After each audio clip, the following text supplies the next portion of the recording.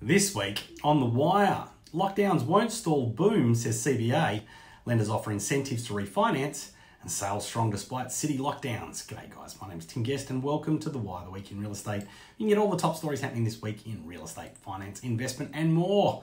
Kicking it off with our top story for this week, lockdowns won't stall boom, says the CBA. So Australia's biggest home loan lender is confident the housing market will continue to strengthen despite an increase in borrowers asking for mortgage relief in recent months. Now, CBA says it is receiving almost 2,000 calls a week from borrowers feeling the financial strain of the pandemic and lockdowns and are seeking a reprieve from home loan repayments. Now, Group Executive Retail Banking Angus Sullivan says it has deferred almost 7,000 loans during the most recent lockdowns. Now, about 60% of the calls for help have been from New South Wales uh, homeowners, particularly during the last two weeks where construction sites were shut down.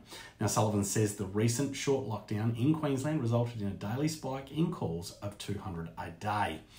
Now, despite the difficulties faced by many homeowners, CBA predicts house prices will continue to increase this year, buoyed by ongoing strong demand. Now, it forecasts price will lift another 3 to 4% this year and between 7 and 8% in 2022. Now, guys, for our next story lenders offer incentives to refinance.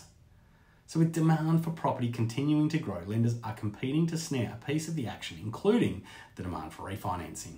Now, owner occupied refinancing has more than doubled compared with two years ago, with the total value of refinancing during June exceeding $16 billion. Now, the increased competition has lenders offering interest rates below 2%, as well as cash bonuses and incentives worth up to $5,000, I should say.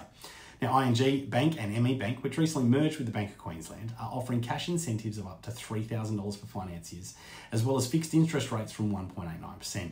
Now, Rate, T, uh, City's uh, research director Sally Tindall says the current interest rates on offer are highly competitive and can save homeowners thousands in just a few years. She says a $1 million principal and interest borrower on an average rate of 3.07% who refinanced to the lowest two year fixed rate of 1.79% could save up to $25,000 in two years. And now, guys, for our final story of the week sales strong despite city lockdowns.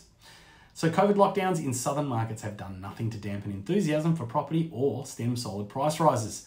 Now, most capital cities recorded strong auction clearance rates last week, with Adelaide leading the pack with 85% of auction properties selling under the hammer.